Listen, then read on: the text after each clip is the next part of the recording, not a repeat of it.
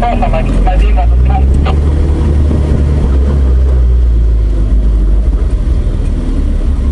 Fahren Sie! Wir hinterher.